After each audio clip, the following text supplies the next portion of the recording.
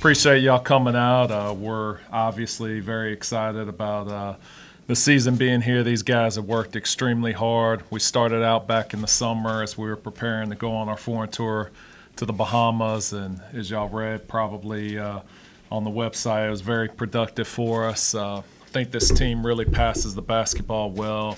I think that we've got great team chemistry so far. I think they're very skilled and can shoot the basketball. We're still working on uh, defensively, some rotations, and just getting the guys all on the same page, and then also uh, that maverick level of toughness uh, that our teams have had. We're trying to instill that in the guys. But um, so far, I've been very pleased with the way things have gone. We did have a scrimmage. Uh, can't really talk about who we scrimmaged or anything, but we saw some positives there.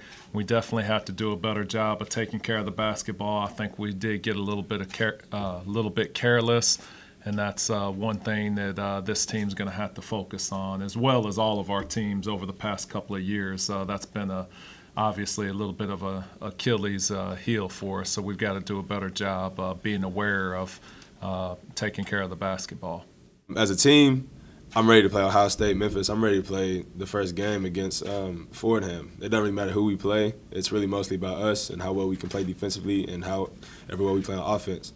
So I mean, any team we play, I'm ready. I know our team's going to be ready, and that's all that really matters. You got to look at everybody's their own leader. You know, I mean, it's not just somebody carries a stick. You know, it's everybody's turn to carry a stick. You know, like Hervey over there, he's young, but you know he's wise beyond his years. And Eric, another guy, you know, he's our point guard and also, you got to look at, you know, Kalen and Jalen. I mean, they're soft spoken guys, but, you know, when it comes down to it, they can be leaders as well. So, I mean, it's everybody's a leader. I don't like to have that persona of the leader. I'm the leader. I'm the leader. You know, everybody's got to come together and have the common goal and know what we have to do. So, you have five seniors on your team. They all know that it's their last chance, their last shot. Uh, you know, so they got a little bit more at stake. But, you know, I think that we have enough competitive guys to maybe where that won't be an issue for us. But uh, the exciting part is, you know, no matter what we accomplish this year, the expectations are going to be even higher next year because we're returning